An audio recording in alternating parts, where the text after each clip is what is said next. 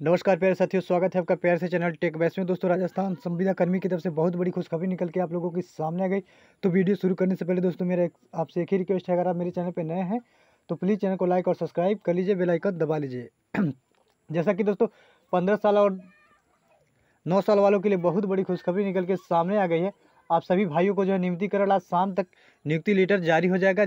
CM Gehlot ji ने किया वादा, आप लोग देखे होंगे न्यूज़ एटीन राजस्थान पत्रिका में।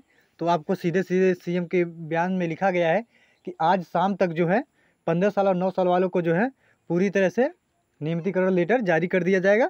अब पाँच साल वाले को भी नियमित किया जाएगा। अब दोस्तों, इसमें जो है चार से पाँच विभागों को पूर्ण रूप से नियमित करेंगे। जैसा कि आप लोगों ने कल देखा होगा एक वीडियो कि सिर्फ़ दस हज़ार पाँच सौ अट्ठाईस लोगों को नियमितीकरण का लेटर जारी हुआ था।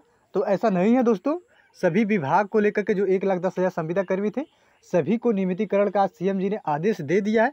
आप लोग जा करके राजस्थान न्यूज़ एटीन का पत्रिका देख सकते हैं। वहाँ पर आपको साफ़ साफ़ दिखाई देगा। फ़र्स्ट पेज फ़र्स्ट पेज पे ही है दोस्तों। आप लोग वहाँ पर जा करके देख लीजिए, ऑनलाइन सर्च कर लीजिए, राजस्थान न्यूज़ एटीन। वहाँ पर आपको देखने को मिल जाएगा दोस्तों। तो आज शाम तक सभी भाई नियमित हो जाएँगे। आप लोगों को अब टेंशन लेने की ज़रूरत नहीं है। पाँच साल वालों का भी नियमितीकरण दोस्तों शुरू हो गया है। अब पाँच साल वाले भी घबराए नहीं। अब बात आती है दोस्तों, क्या शिक्षा विभाग नियमित होगा तो इन सब की बात करता हूँ दोस्तों। अगले वीडियो में करूँगा, लेकिन इस वीडियो में इतना ही है कि आप लोग आज शाम तक नियमित हो जाएँगे, आप लोगों को लेटर मिल जाएगा।